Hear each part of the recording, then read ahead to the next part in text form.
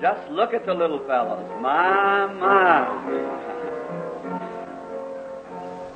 The harvest of tomorrow.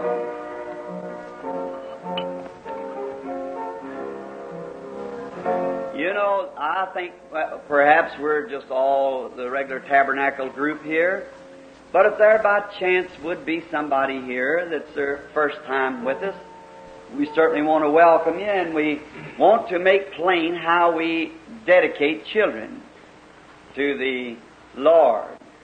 You see, in the Bible, many times uh, we have uh, people today who draw up conclusions of how that they should do these things, but we just here try to stay right with the way the blessed old Word does it. And, and it never get old, it's always new because it's God's way of doing things.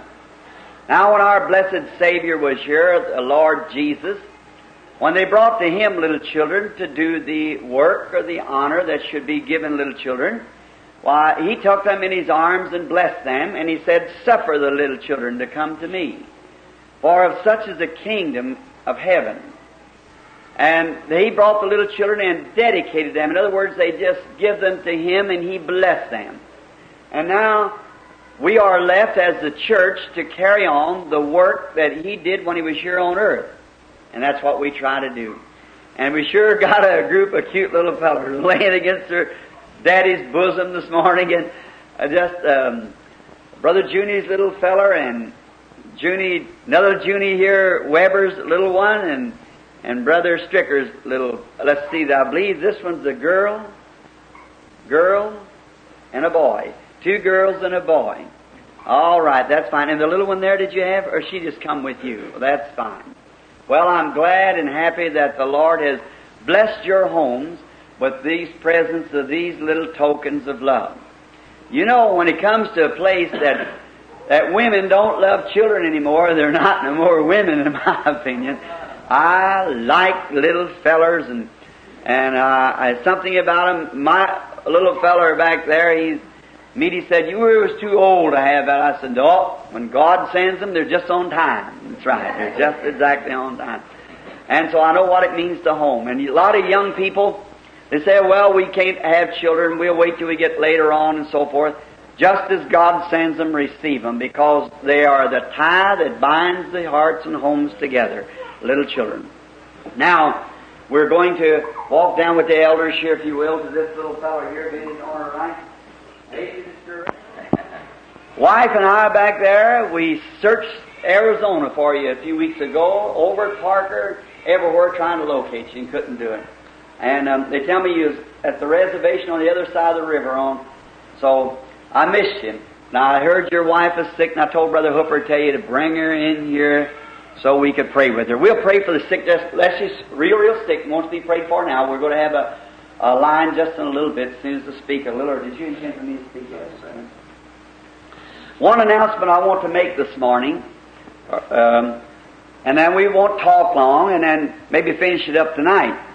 There was this announcement that I wish if anyone lives in the neighborhood, that they would uh, be sure to speak to the neighbors to this regard. Uh, the neighbors has been calling me here especially one in the neighborhood called me day before yesterday, and it was concerning boys playing ball on the lot here.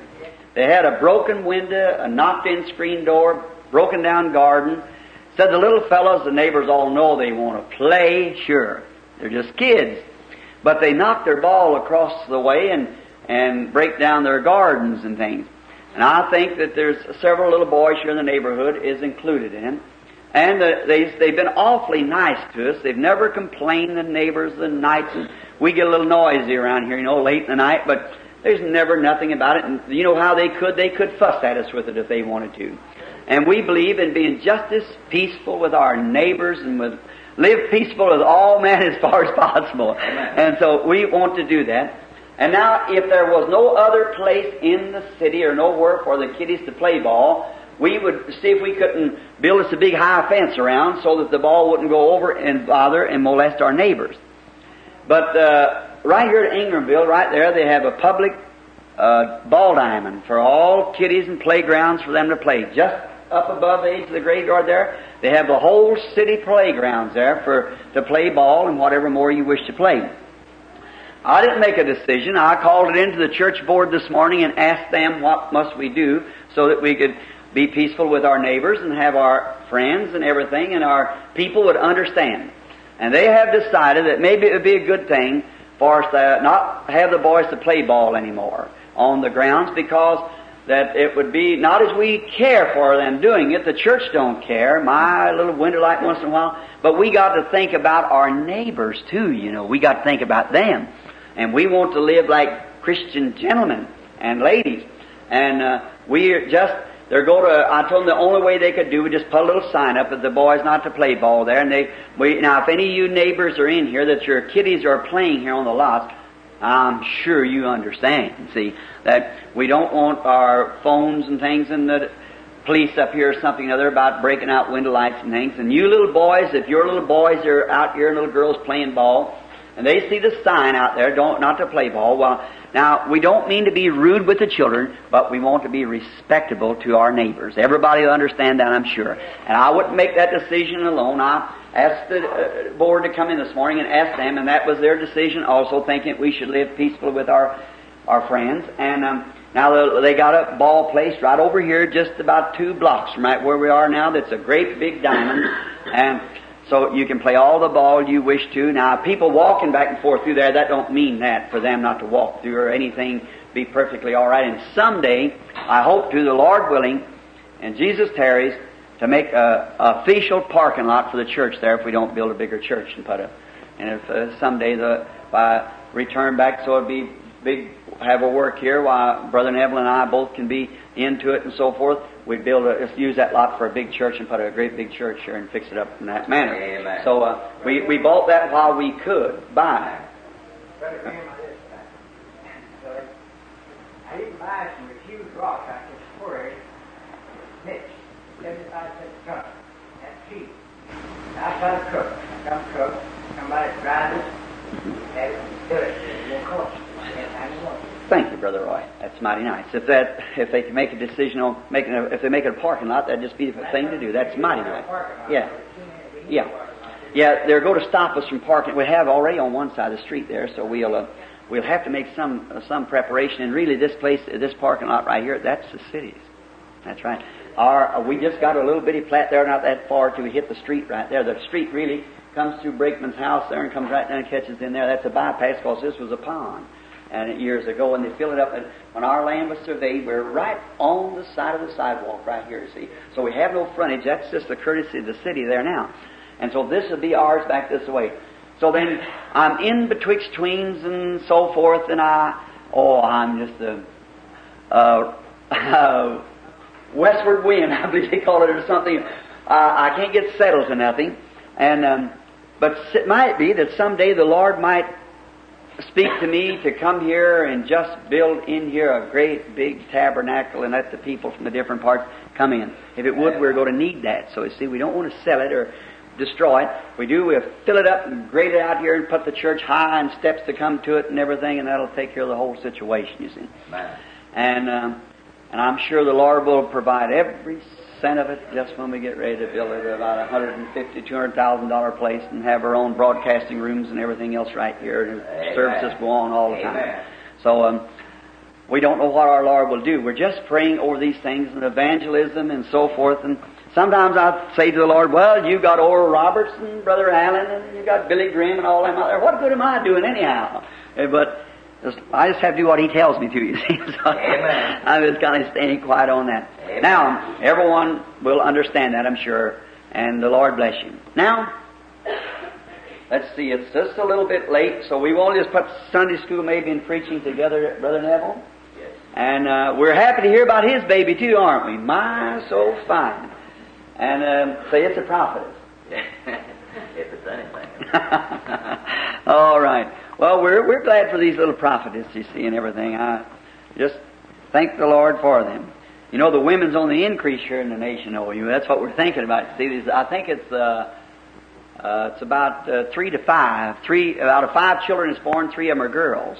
And the women are getting bigger, the men are getting smaller. Women are taking over. Of course, that's just the trend of the prophecy of the day. That this nation is a woman's nation. It'll be run by a woman. And remember, thir 19 and 33, I saw that coming in a vision. A great, powerful woman will take over the whole nation someday. That's exactly right, before the end time, for total annihilation. Uh, cars in that day will be shaped like an egg, running back like in this form there, and it'll be controlled by some kind of a power that they won't even have to use the steering wheel at times. Just set her and go on like that, see, before the annihilation. I remember that's, uh, that's on record. The, and women will take over. Women will take over, and, and the doctrine of Catholic Church, which I've always said would take over the United States, it's absolutely almost there right now. See? Worship of a woman, Mary, which is a goddess, and which is contrary to the Bible, and interceding with the dead, which is contrary to the Bible, and all these things here, just moving right up.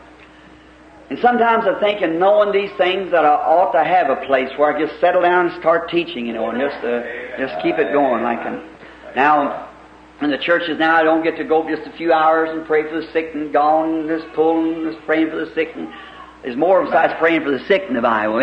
Yeah, lots of things to do. I want to report the meeting in Canada. One of the best meetings we ever had in North America continent. I have never in my life Mr. Mercer will be writing it up and them, seen anything happen like it did at the Canadian meeting. And of course, the Pentecostal people has flatly turned me down. Everything there was Baptist and Anglican and so forth. Everywhere the Pentecostal has turned me down because I won't accept the evidence of the Holy Ghost as blood running out of your hands and oil running out of your hands and things like that and seeing uh, rainbows and all those things. Sensations does not pertain to salvation. Not at all. We come solemnly by faith. We believe God, and, and that's it. And so they wrote letters ahead into Canada, and the Pentecostal just simply stepped aside like that. But uh, would not have no cooperation or nothing to do in the meeting because I wouldn't accept that. And so I still, no matter who accepts it or what does it, I stay with the blessed old Bible. Amen. This is God's Word. And we have to stand alone. We'll stand alone and build a church. That's right. Now, before we approach His, uh, His uh, Word, let's just bow our heads for a moment of prayer. Blessed Father, we are indeed grateful to Thee for this time of fellowship together around the Word and these holy oracles of God. And may as we partake of them by the reading and the hearing, may the Holy Spirit inspire them to our hearts that when we leave today, we would say like those from Emmaus, it was good for us to be here. Our hearts burn within us because He talked to us in the way. We asked it in His name. Amen. Now I have selected today, if it be the will of God, my subject is found in, and over in the book of the Psalms, 63. O God, thou art my God, early will I seek thee. My soul thirsts for thee, my flesh loweth for thee in a dry and thirsty land where no water is. Just listen at the psalmist. To see thy power and thy glory, so as I have seen thee in thy sanctuary. Because thy love kindness is better than life, my lips shall praise thee. Thus will I bless thee while I live. I will lift up my hand in thy name. My soul shall be satisfied as with myrrh and fatness, and my mouth shall praise thee with joyful lips. Now may our Lord add His blessing to this word. My subject this morning is found in L-I-F-E, four little letters. And as the psalmist here was speaking, David, always God deals with man just according to the way that their minds run. Uh, God dealt with David like uh, green pastures and still waters and so forth. And David out there, after he's seen so much life, how God lived in the tree and how he lived in the flowers and how he lived in the, the rippling of the brook. If anyone ever walked down by a brook where the uh, little falls is and hear that constant ripple, oh, I can lay down there and go to sleep just so easy. I never took a sleeping pill in my life. I've been tempted to do it a lot of times, and my meetings would be all twisted up, but God has helped me so far. But I'll tell you, I believe that would be better than every sleeping pill they could have in a drugstore. Just to lay down by the side of a rippling little brook and pray a little while, and now I lay me down and just lay there. Oh, there's something about it that's restful. How I love it. And David here said, I just, my soul just thirsts after thee. Just listen. O God, thou art my God. Early will I seek thee. My soul thirsteth for thee, my flesh longeth for thee in a dry and thirsty land where no water is. Then he goes on to say, Because I love kindness is better than life. Now there's nothing seemingly any better than life. What could we estimate this morning would be better than life? But David says, Thy love kindness is better to me than life. Now we wonder then, the word life must have a, a, a compound meaning to it. it. Must mean more than and, and one thing. Life uh, itself means an existence. So then, if thy love kindness is better than life, then what could be any better? Because God alone has eternal life. God alone has eternal life. If we can get that straight now, it will be easy for us to see the great picture God sets before us. How that someday that everything that isn't of God will vanish and perish and go away. Now everything that had a beginning has an end. There's nothing that ever began but what has an end. But something that had no beginning has no end. And, and God alone is the only one that had a never beginning. He had no beginning of days nor ending of years. And therefore, we have to become a part of God by birth to live, have an eternal existence. Then sin and suffering and everything must come to a place where it has no existence because it had a beginning. There was a time when there was no sickness, no sin, no sorrow, no death. And then it come by perversion. So all the perversion must end back and all that was had the beginning has to end so that the eternal can ever exist. Do you see what I mean? That's the reason it's totally impossible for any persons to ever be saved outside of the new birth.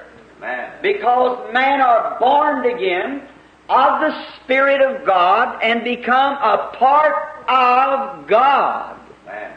Their existence is eternal as God is eternal.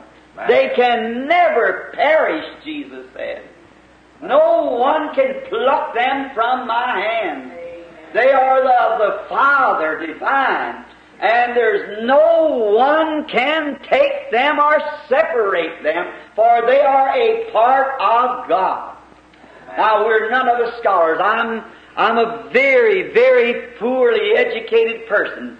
But sometimes when I hit words like that, I search it down to find out. Just take that one word. I have friends and Bible teachers who can take the Greek or the Hebrew and just run it anywhere through the Scripture. But I have to take it just word by word and search it out. And I find out that when he said, I give unto them eternal life comes from the word, Greek word, Zoe, Z-O-E. And Zoe is God. God's own life. And then as sure as we are a partaker of Zoe, we exist eternally like God exists eternally. Amen. Therefore, by partaking part of God, we become eternally blessed and saved. Forever and forever. Without end, without beginning. We become a part of God. If you notice that this great beginning, you take someone has asked the question, who is this great Jehovah? Where did he begin at? He had no beginning. Amen. He was forever God. And He is, now the word forever just means a space of time. But eternity means forever. But forever, the word forever in the Hebrew means space allotted time. For it is in plural, forever and forever. See? That means two forevers. See? But in eternity is one complete, eternity is a, a circle that has no end. It never had a beginning and it never will have an end. And how that in the world we know that there's a real, true spirit of love. There is a real, true spirit of loyalty. There is a real, true spirit of honesty. How many knows that? We know it. We see it. Well, that is God. The, the very fountain. Let's close our eyes to our imaginations for a few moments and go way back into the, for there was anything, the great fountain of all eternity was that spirit of love, joy, that spirit of honesty, that spirit of trueness in this perfection.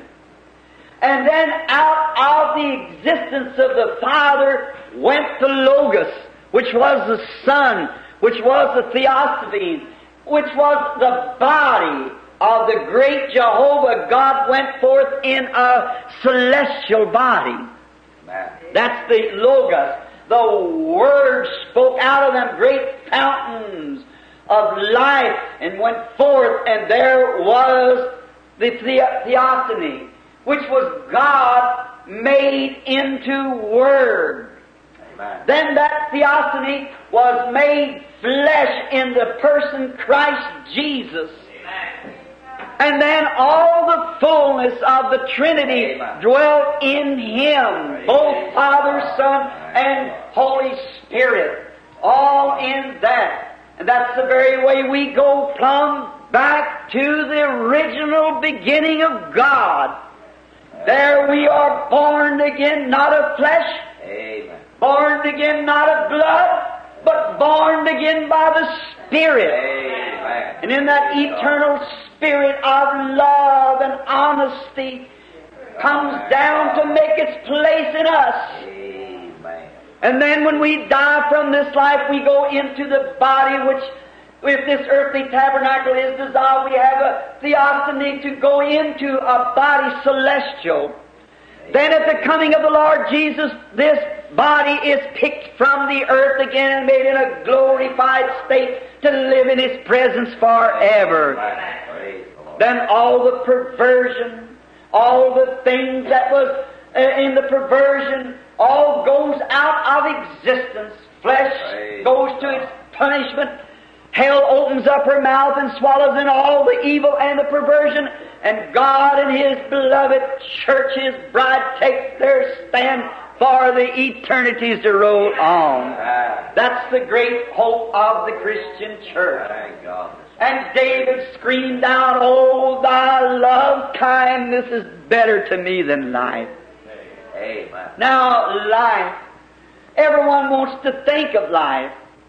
And life, the word life has had a perverted uh, aspect to it. Because that even life itself has a perverted aspect. And many times people want to refer to life as having a big time drinking, riling, and going out, they say, this is life. How mistaken they are. That's death. Amen. See? It's not life, it's death.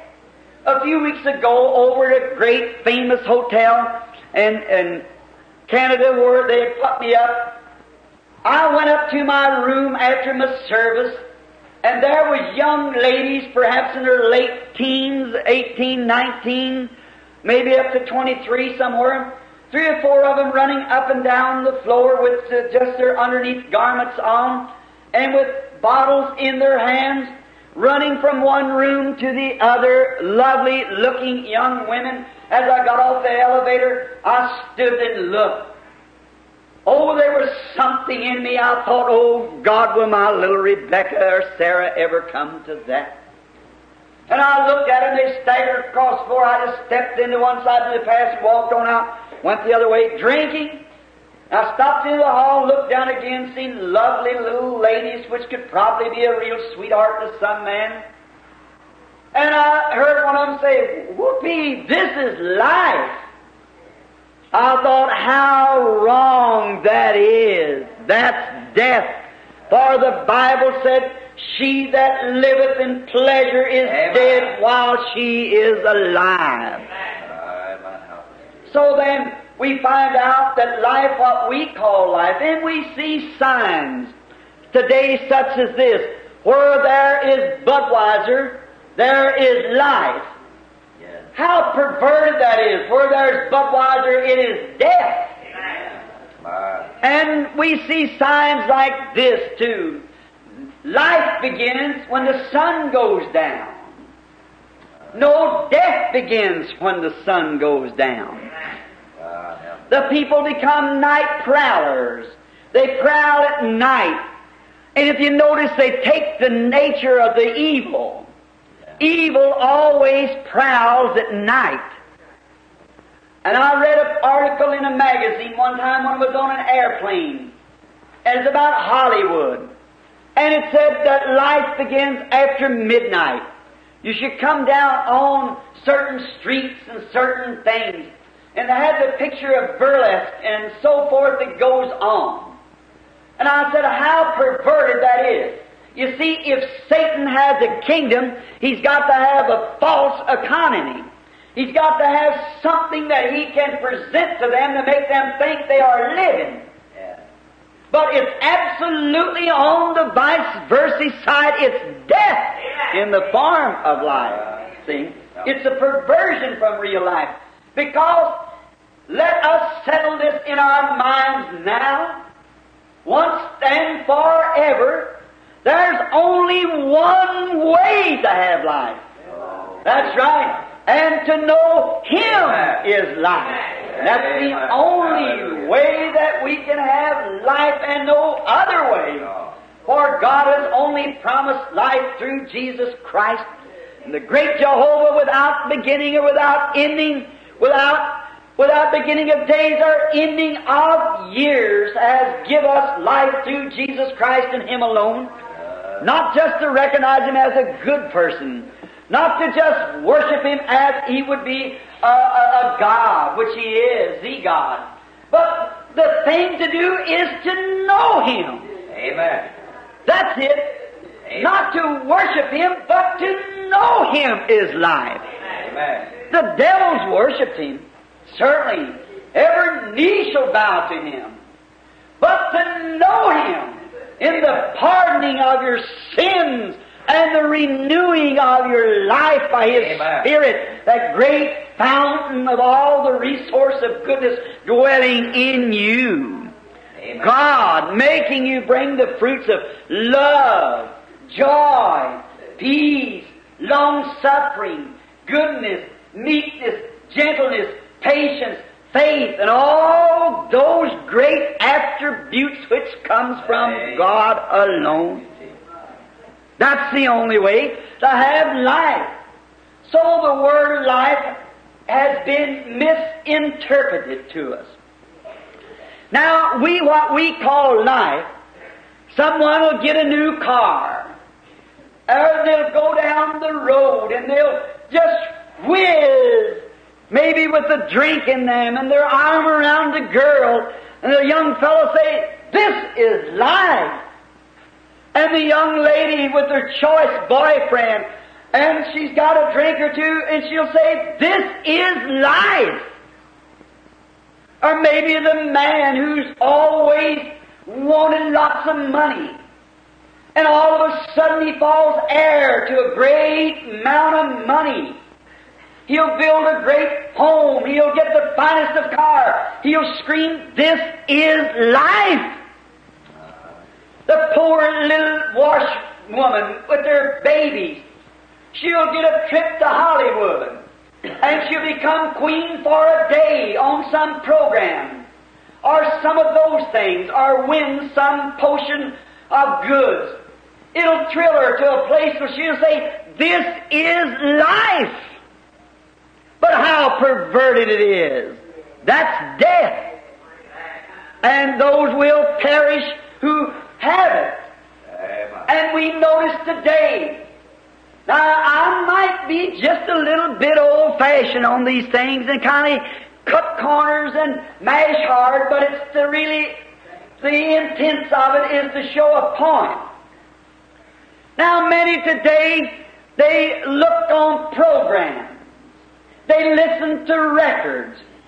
They go into the uh, little restaurants, and you can hardly eat for the uh, the great records they're playing of this rock and roll and and the boogie woogie and all those fancy, fantangled, devil-made, demon-inspired records. And oh, I wonder what will be the final outcome when they find out it's not connected with that eternal one. I'd imagine on that day when the sun refuses to shine and all time stands still and melts into eternity. I'd imagine Elvis Presley will be all shook up on that morning. Sure enough. Yes, his record will be a reality when he hears the bleeding of the millions of souls that he sent to hell. The thirty pieces of Judas's betrayal silver beaten on the platter will be a pleasure up the side of Elvis Presley's doom time on that morning. For Judas did it because it was to fulfill a scripture to redeem man. But Elvis Presley perverted the right thing when he was a Christian and sold his birthrights to a million souls in hell.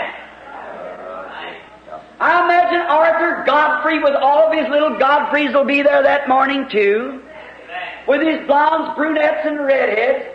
And it'll take more than a Hail Mary to ever clean his dirty soul and his conscience in the presence of God when he feels like that the dirty cracks and jokes and the things that has led the millions to hell by it. And they call that life. Why, it's death. And they don't know it. My God. This morning. Now notice, in this, this thing that you call life becomes so miserable till many times people take their life. So that could not be the life that God is speaking of. Because you cannot take God's life. And neither can you give God's life. That lays by sovereign grace in the hands of God alone. But this little mortal, perverted thing that you live in called life, you can take that when so desired. But to show that that isn't life, how miserable it becomes. This, what we call life now, is only a shadow or a negative. We all like to rejoice, but we can rejoice over the right thing. That shows that we're hooked up with the real thing when we rejoice over the right thing. Amen. But when we rejoice over the wrong thing, it shows we're hooked up with the wrong thing. So our life can tell right now what we are, which way our emotions are running. Do you see? We are, if we're rejoicing over the world and the evil things, our minds and our souls are inspired by below. Uh-huh. boogie woogie, dances, heartaches, drinking, all these other things that we run after, it's from below. But if we rejoice in the Spirit that we have eternal life, and we raise our emotions to God and praise Him, Amen. then we have joy. Then we have joy. Jesus said uh, that your joys might be full, Amen. but not full of the perverted life, but full of eternal life above. So you can see, it depends on what you look at. Now, just for instance, for the psychology part of it, psychoactive. Now, let's notice just a moment this psychic view. Here is the picture of Christ, and here is an electric fan. It depends on which one I look at. See, if my emotions is moved this way, or my emotions is moved that way. If I look at that and long for that and desire that, my emotions is set toward the fan. But if I look this way, my emotions and my desire is set that way. That's the reason Jesus said, Whosoever looketh upon a woman to lust after her hath committed adultery with her already in his heart. See? It's where your emotions is set, where your thoughts is. And then we can rejoice on because that we are the children of the promise Amen. on the great eternal church of God who has Christ on promise that can't fail. Amen. That's right. The world thinks that we're crazy. Oh, this is life. Whoopee. I am this day to see a young lady who went to a, a psychiatrist. She's 35 years old. Never smoked, never drank in all her life. A very fine girl. Her people are Christians. Her father's a doctor. And she was gave her life to Christ in early stage. And what did she do? She goes out and she finally gets to a place, to a college where she was teaching. And a psychiatrist there.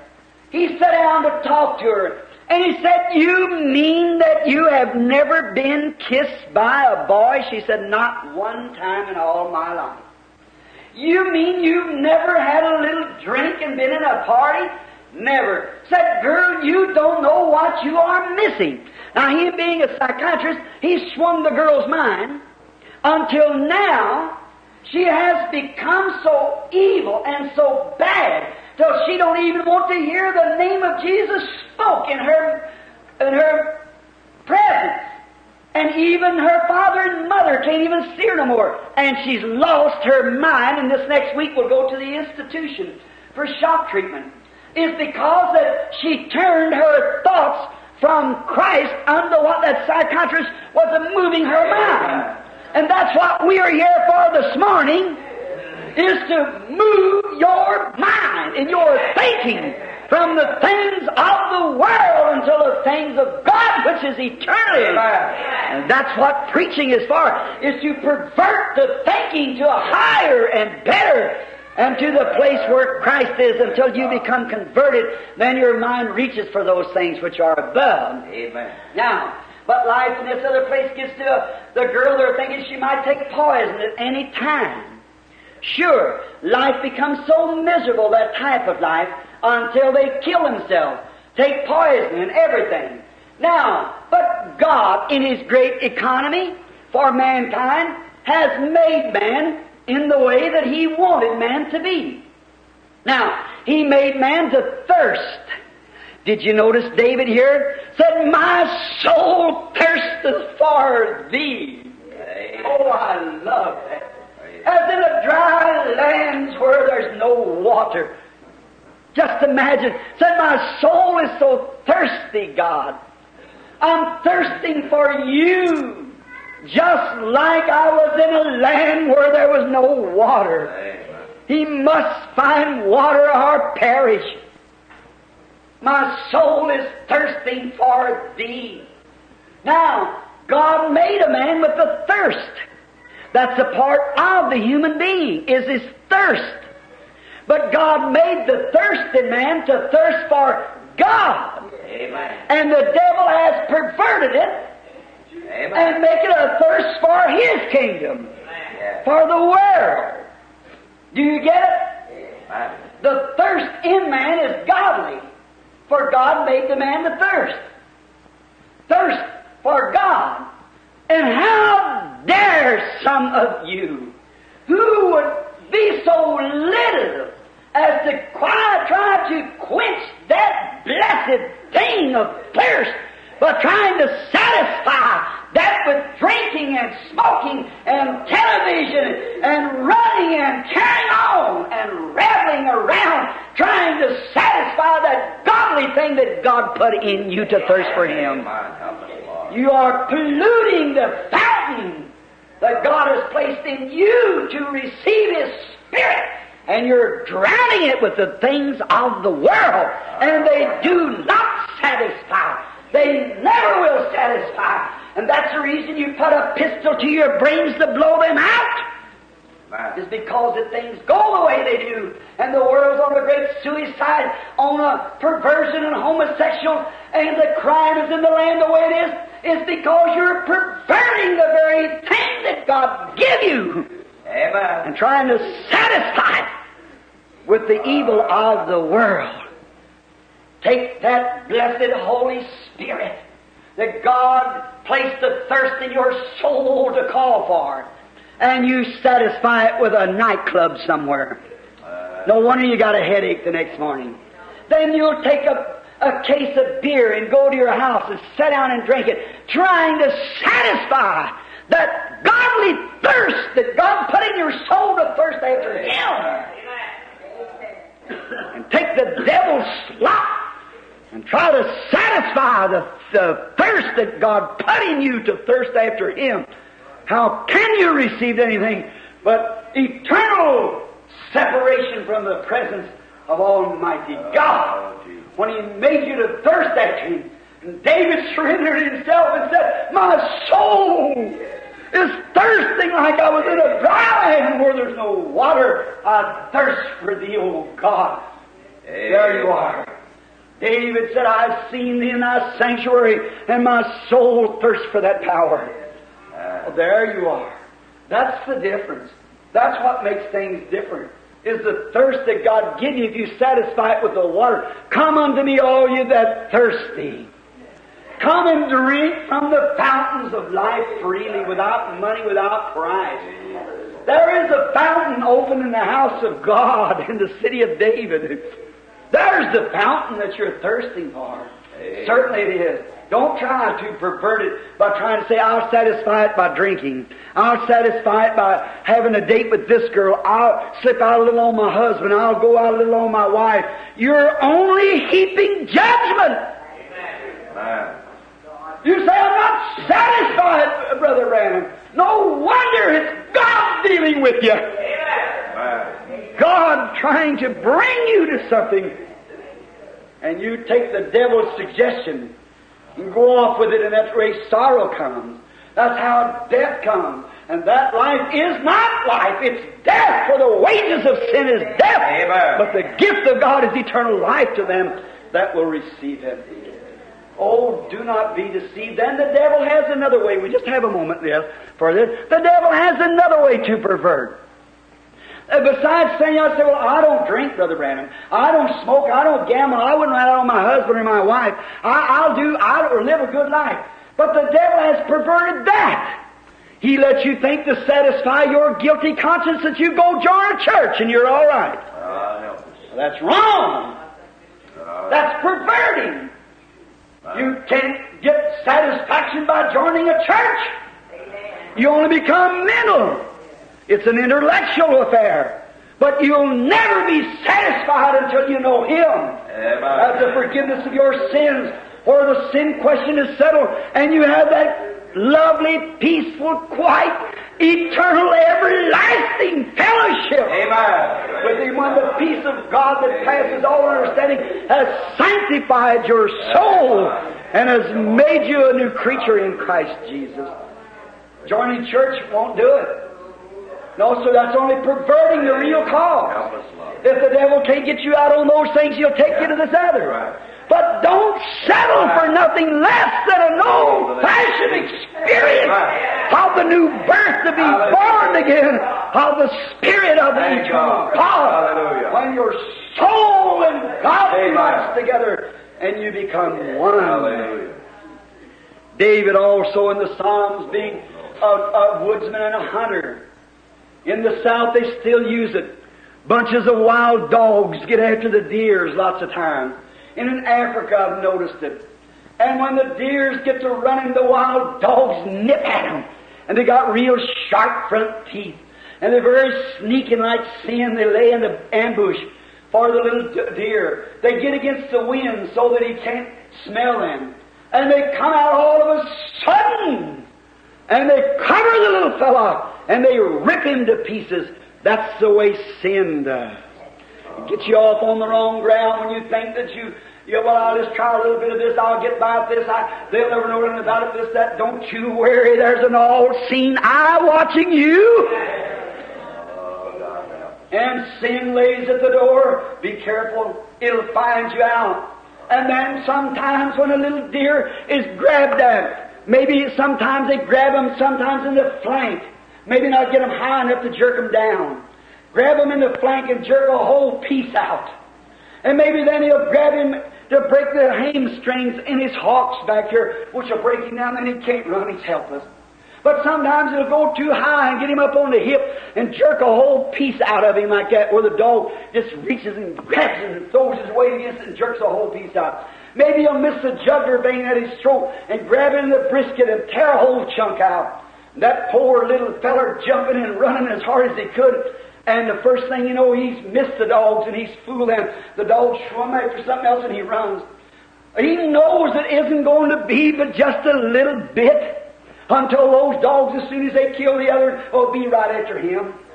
And he takes off just as hard as he can. Now, being a hunter, I'm acquainted with deers. I'm acquainted with the action of them. And if you notice, as long as a deer can get to water, brother, he can revive in a second.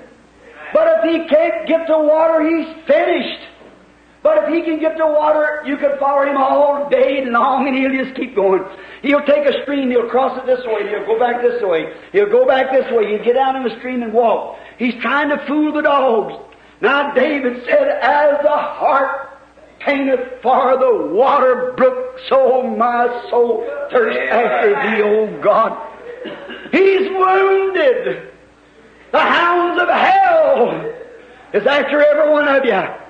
He only wants to get you away from the shepherd ones. And they grab him and they jerk a handful out here and a mouthful out here to spoil you. And David said, as that hart is panting for the water brook, oh, he's got to find the water brook or perish. Hallelujah. God, let that be our soul today. Wounded. If I can't find the water brook, the hounds will get me pretty soon.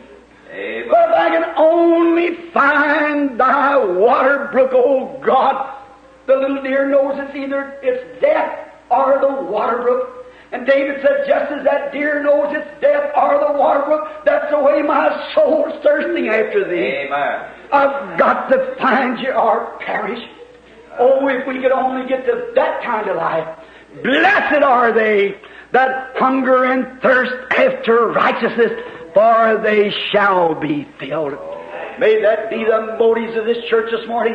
May your affections be turned from the things of the world, the cares of the world, whether it's your house being clean, whether it's your farm being weeded, or whatever it may be. May it be turned to God. Oh, Amen. Lord, thy love kindness is better to me than Amen. all life. My soul thirsts after thee, like I was in a dry land, and like the hart for the water brook. My soul must find thee or perish. When the Branham Tabernacle gets to that place, the little isms will drop out the doors, the differences will be all settled out, and Christians will be Christians, and there, this will be a spot that'll be talked of around the world when any congregational people will thirst for God in that manner. Thy love kindness is better to me, O Lord, than life. Let us pray. Our blessed Father and God, as we come to Thee now at the close of this little message, we pray that the hungering and thirsting will be in this little church this morning like never before. May men, women, boys, and girls today in the in under the roof here and outside or wherever they may be, May they hear the gospel and know that there's something that, that makes them thirst for something. Oh, such an unrest. You said it would be a time like this. Unrest, perplexed of time, distress between nations. Oh, if they would only take that craving for more power, craving for more bombs, craving for those things, and convert it into a crave for God's righteousness. Then the Sun of Righteousness would come with healing in his wings. And when Israel travailed, then children was born. And I pray, Father, that you'll put that thirst in our hearts today, that there's no satisfaction nowhere in the world, only at the noise of thy water spouts. Oh, Lord, let the deep call to the deep. Grant it, Father.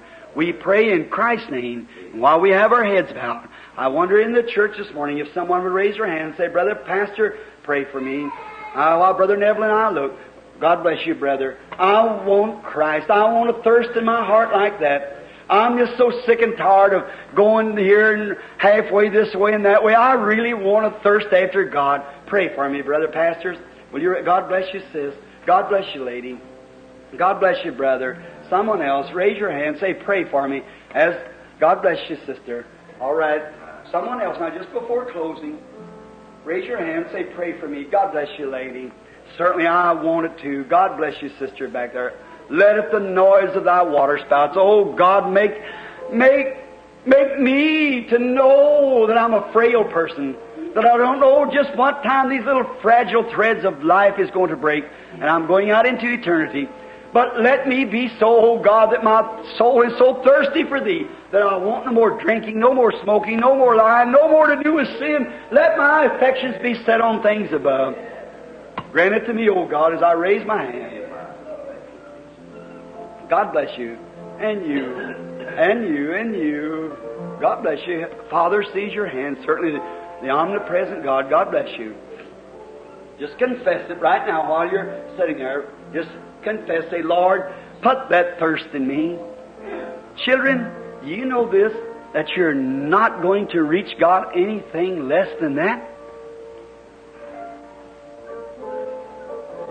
Is that that deep thirst? That that's something that longs for God. Just like the poor little deer. Could you imagine him? He's wounded. He's dying.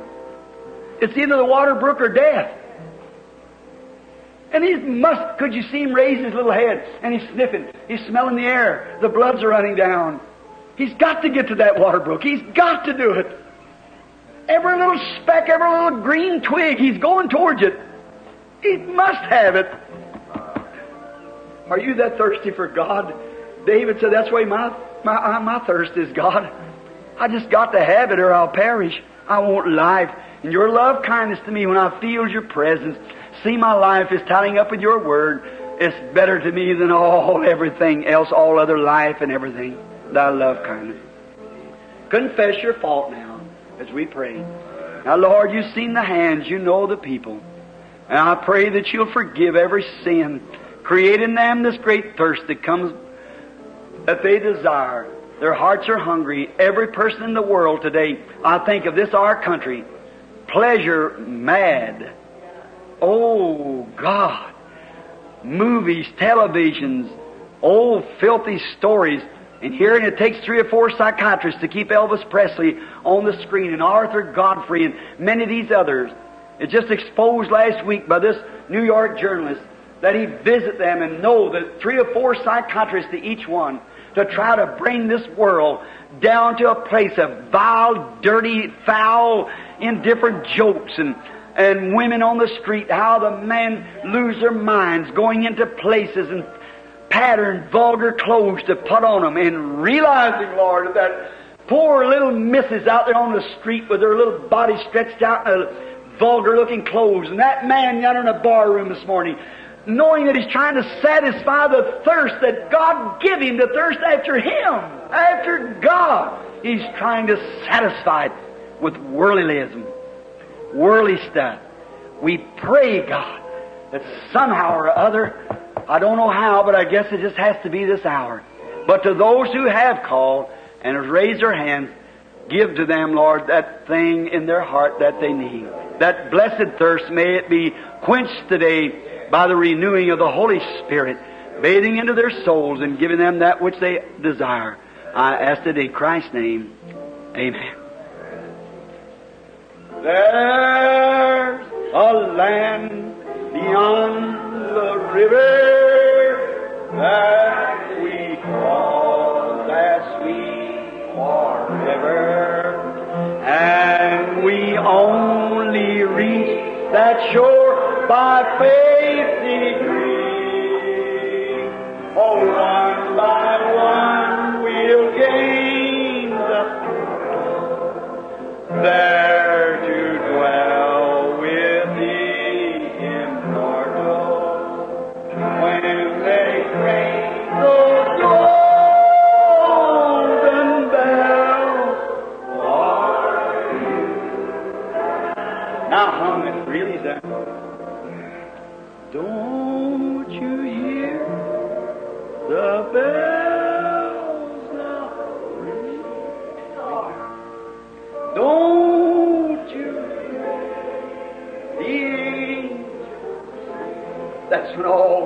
to one.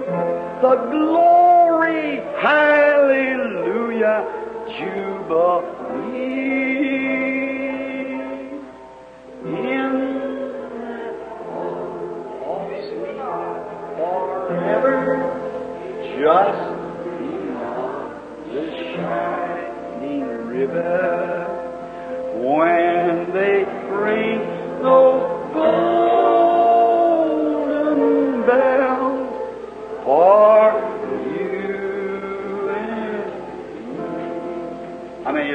Raise your hand. Thank the Lord. Now reach out over, shake hands with somebody by you and say, God bless you. Those bells now ringing. Don't you hear the angels? Sure, we're citizens of the kingdom. That's a uh, glory, hallelujah, jubilee.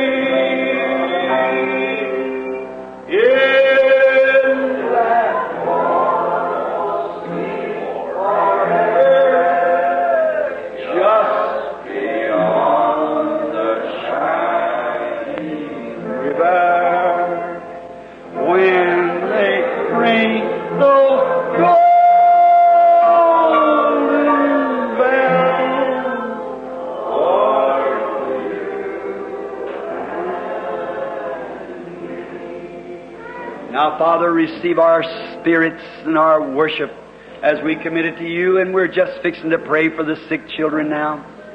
We pray that your Spirit rest upon us, that we might be able to pray a prayer of faith for those who are in need at this hour. Grant it, Father, for we ask it in Christ's name. Amen. Amen. Now may the sick gather around the altar while we anoint them and pray with them. We'd be glad to help you. We'll be dismissing the service. You can stay for the next 10, 15 minutes. Well, uh, give us um, this, Mr. Gurney. Or wait for me. It's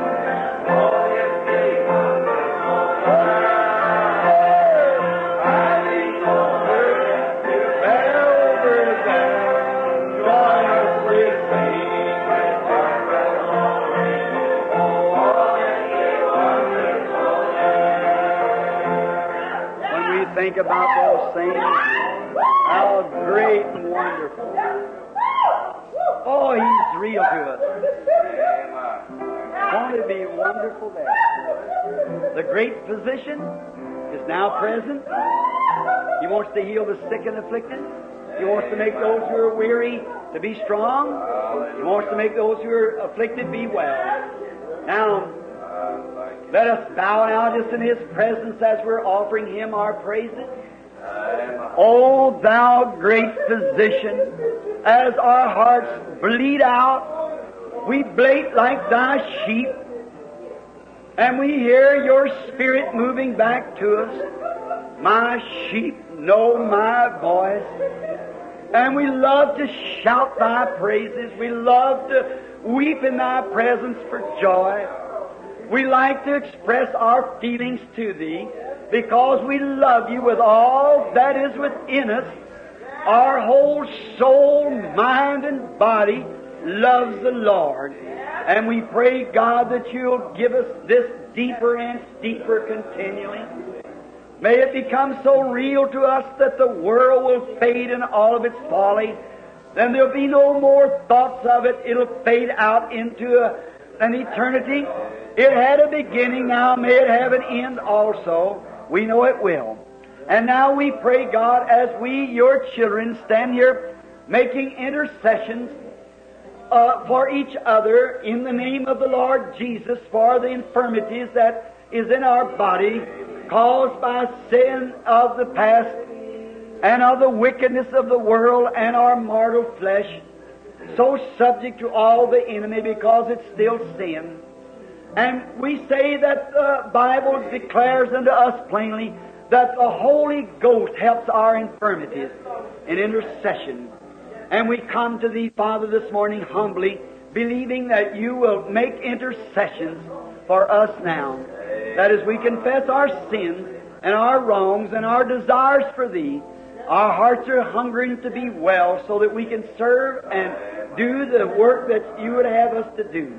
Grant, Lord, as your elder goes forward, anointing, I come laying hands upon the sick. May the Spirit come forth healing. Lord. We ask this to be through Jesus our Lord. Now, Elder, if you'll start down here and just come right up. Everyone in prayer now, slowly singing, The great. The-" Everybody singing softly.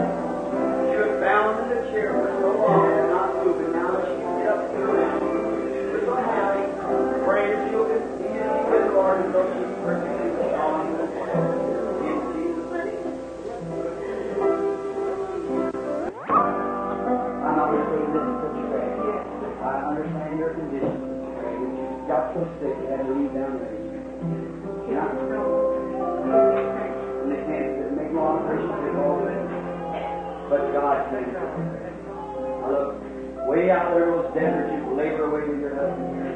For the cause of Christ. The very thing that you live for, you Craig, is the only thing that can help you.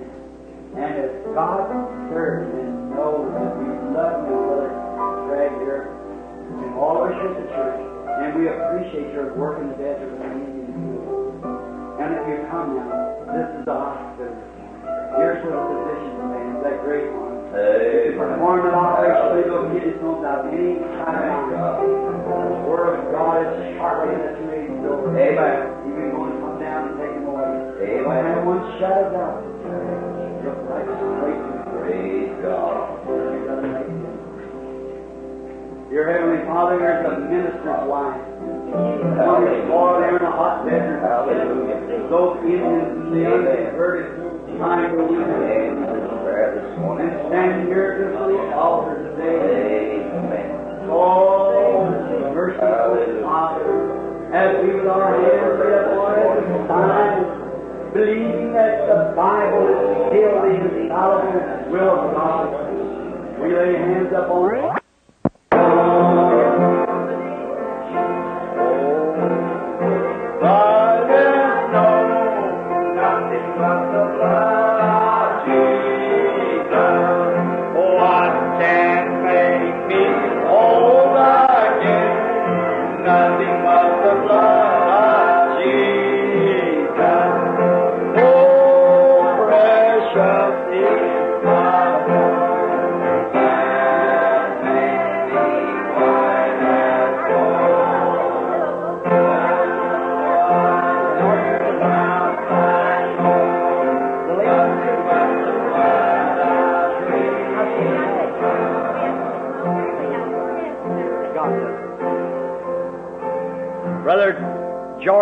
Colvin's wife's in the Norton's Infirmary Hospital in Louisville to you, who's making visits to see them, and and Mrs. Colvin, who had cancer of the stomach, her her mother-in-law is better, so we're thankful for that. Now, just to you people who are sick and must trade for I'd like to say this just a little word. We're just a little late, but just a little something concerning divine healing. Oh, it's such a wonderful thing, and it's so simple to, to approach it if you just take the right attitude towards it. See? Now, the vision that I had, and explained it in the church here, about the water, you remember that, and the dam being on the left hand side and the river running back that way? Every bit of it unfolded right there in Canada just perfectly.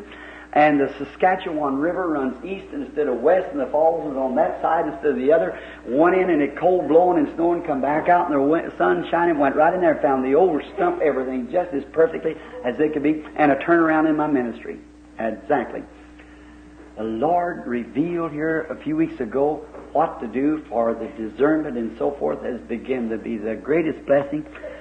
And we can pray for the people more. And now, on the platform, after the visions was over, we call the visions in the plat- first to begin with. And then, when the people come up with first, you'll see the testimony now. Now, here's the reason right here. If if we hadn't have been raised together, see, we're just kids here together that we've been raised together. That's reason. You know, oh, I, you know what I like to hunt and fish and so forth, and that, that's what takes it away. Brother Bill is just your brother. See that you love me and I love you. See, and you come out here and well, if if you wanted your lights fixed, you wouldn't care to call me, come do it, try it. And if I couldn't, I'd call Brother Rhodey. So then we just, or something, you know, on that order, see? And that's just common among you. Somewhere else, it seems to be different. When we, well, now, we, that's one of the makeups, just like brown and blue eyes, see? It's, it's just one of the makeups. We can't help that. In Canada, when I got there, well, of course, I told you what had happened. We had several thousand people out but they were mostly all Anglican and Baptist and so forth, which is sponsored by me. Pentecostal people has flatly turned me down. So then, but that's all right. I, I love them just the same. See, but in there that night, a woman come to the platform, the first in the meeting, and she'd been blind I don't know how long, just like the lady that comes here we pray for. They had to lead her to the platform. She couldn't tell daylight from dark. She'd been that way for years and standing there praying for that woman, her eyes come open on the platform, and she goes down and gets a typewriter and types her own testimony to me. The next through was a little boy that was absolutely, the little lady here, uh, come here and prayed a while ago about a little child was mute. We had that child there on the platform. I think it was about, I'd say eight or ten years old couldn't know one word, couldn't make a mutter, couldn't hear a thing, never did, was born that way, absolutely no hearing, no speech. Stood there and cried and praised the Lord and could hear anything and right off the platform rejoicing. The next come was a spastic child, about 12 years old. Billy helped pack him up to the platform, and two men, he's in such a fix just like this. Reminds me of little Edith Wright. And they brought that little thing there, and while I was praying, he said, Let me down. Jesus Heal me. Well, what could we do but let him down? And when he did, he walked down through there going like this, praising God and shouting and walking up and down that place like that. And people fainting almost in the audience like that. Then come a little hunchback, big hump in his back. And he was a Catholic. Of course, we understand they believe in healing. Now, to you Catholic people, nothing against that's all right. See, but they believe in like the statues and so forth, you see. And, and I said, now look, Sonny, we do not believe in healing that way. We don't believe in touching statues. We believe that we are, by grace of God, sons and daughters of God. See? And God's Spirit is in us. Now I said, now here's the way we believe it. Here comes along, um, uh, Jesus came by one day, and there was a tree standing there. And he said, he looked for fruit, and there was no fruit. He said, No man eateth from thee, from forevermore. Went on away. And the next day when they passed by, that tree was withering. Peter said, Why, you know, Peter, how he was, he said, Why, look at the tree, behold it. And Jesus said, Have faith in God. For if you would say to this mountain, Be moved, and don't doubt, but believe that what you say shall come to pass, you have what you say. I said, You get that? Yeah. When you pray, believe that you receive what you ask for, you shall have it. I said, see, we, after receiving the Spirit of God, now God made the world out of nothing. It's just His Word. He just created. His Word is creation. So He just spoke it, and the world was created because it was the object in God's mind, in His heart. He just spoke it, and it come into existence. He was a creator. I said, then if we have Zoe, God's life in us, we become sons of God and amateur creators. I said, because he said, whatever you say, believe that what you say, you shall have. And I've noticed that a lot of times I'd say things I couldn't hardly think myself, but I'd say it anyhow. I come find out it did happen just that way. I said things that didn't hardly didn't mean for it to happen that way, but it did anyhow. Because I'd said it. I thought, wait a minute. So I said, you see, when we speak anything, if something is anchored to us, we shouldn't never speak it till we believe it. Then when we believe it, we speak it, and that creative word goes out. It's a part of God. See? And He created. I said, I understand. I put my arms around him, prayed for him. Knowing him being Catholic, I said, now you just wait. Tonight when you go home, you put a little string around you like this and pull it up tight, let Mommy do it, and cut it off. And then tomorrow night, if it hasn't shrunk three inches, then I'm a false prophet. Bring it back, bring the same string, cut it off and lay it up here. After you left, I thought, what did I say? What did I say? What if that would have been some criticism there, you see? I thought, but God said it, because I didn't know I was going to say it, so I'll just leave it right like that. Let him go ahead. The next night, it was just about that long. see where it, so the next, a couple nights that was a little boy come through, a little hump on his back, come way out like that. There'd been a whole bunch of little French Canadian Catholic had come down and was saved and filled with the Holy Spirit there, see? And um, this little boy had an arm down like that, a little hump on his back, little bitty feller about like this. He come through and I was going to pray for him. I said, honey, you see what I told that other boy? About his little shoulder. And his, I see the little hunchbacks that can't raise their arms like that. See the hump, but something goes in the back here. He said, yes, sir. I can't come back and find out his real poor family way over in British Columbia, see. Didn't have any money to stay any longer. I said, well, God will heal you, honey. I put my arm around him. Now, I, I, I don't want to, to say something isn't right. I, I, I want to say what is right, you see. And I had my arm around the little fellow and my hand over that big hump. And it felt to me like that hump moved and my hand went in. So when I quit praying, I looked at him, his little eyes part, and I said, You feel that? He said, Yes, sir, I did. And I looked around, there wasn't any hump there. I said, Raise up your hand, and here it went just perfectly normal, right before the audience there. And oh, that was just, oh, I don't know how many great things our Lord did every night. Of the deaf, dumb, blind, and you know that little girl I tell you about in Germany that had that, you know how she come up platform and made the communists taking the sails uh, weighing down there. That story repeated perfectly. A little girl come up, that long, past, little peaky looking face, blind, they let her up. And I said, she looks like the little German girl, little eyes white. I said, she looks like the little German girl that was in Germany. I said, how many in here ever read or heard on the tapes and so forth and all hundreds and hundreds of hands? I said, it looks just like a little German girl. And I said, are you her father? He said, yes, sir. I said, what are nation? I said, I'm German. Said, we're, we're German both, him and his wife both. Well, the little German girl exactly, a little plaits hanging down her back like that. Oh, I thought, Lord, if you just do it again. See? Now, what is it?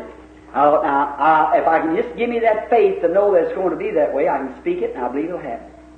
But first, it has to happen here first. See? So I got it with all the sympathy I could with the little thing. And I brought her up like that, and I said, Can you see anything? No, sir. Said she hadn't seen, oh, I don't think she, maybe she never did see. I don't know how long been since she's seen maybe never. But her little eyes just looked like little white balls over them like that. And so um, I held the little thing like that and prayed for her, and she was smiling when I turned her loose. I said, Do you see, honey? She said, Yes, sir. And she started smiling, little tears running down her little cheeks, just a little thing about like that. I said, Do you really see? She said, Yes, sir. I said, Now you come over here where I am and put your finger on my nose. And here she comes smiling like that and went over and put her finger on my nose. I said, How many fingers I got up? She said, You have five. And her father just like the faintest. I said, What'd you say, honey? How many fingers? She said, You only have one now. and there she was, uh, totally blind, received her sight. Oh, he is wonderful. It's, it's almost unbelievable. But friends, I might get back tonight, if not maybe next Sunday. Don't forget our meeting in Indianapolis starting now. Look, I have something I want to speak to the church. It's a message on the times. We're at the end, folks. Look, look at these cyclones and these tornadoes. Never was heard. Look at the earthquakes.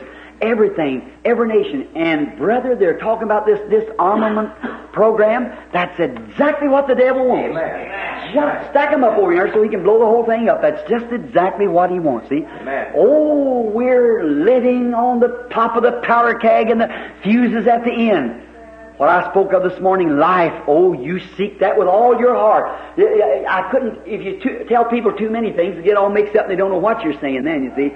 It's, you can't talk to people just one thing at a time. It's the best way to get it. And I don't have just maybe one meeting now and then with you, and I can't tell you like I want to, you see. And you get all muddled up when I get to tell you too many things. But this one thing, remember this morning, Seek life. Oh, pursue after it. Thirst for it. Just keep reaching for it. Don't let nothing stand in your way. Seek for it. Amen. Until we do that as we leave, we must do what? Take the name of Jesus with us. Falling prostrate at His feet, King of kings and heaven of crown Him when our journey is complete. All right, up to our feet. Take the name of Jesus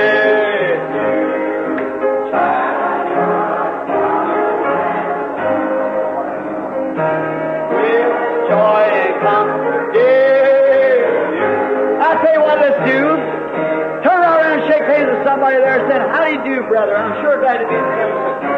Precious name. Oh, how sweet.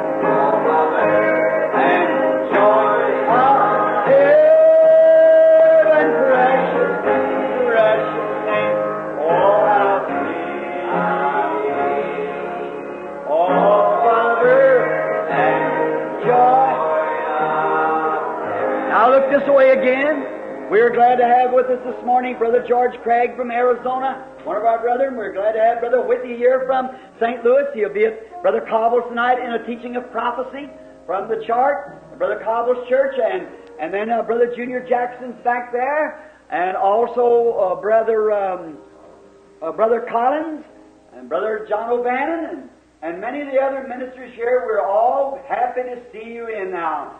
At the name of Jesus, bowing.